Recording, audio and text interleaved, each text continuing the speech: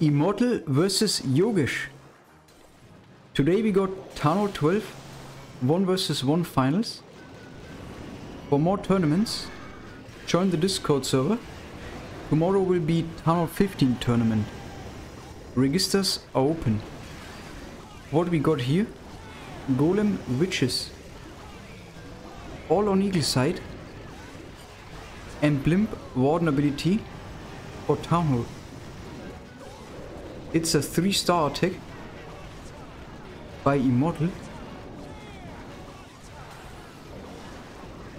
Check out the Discord server for more tournaments. Town 9, Town 10, Town 11, 12 and 15.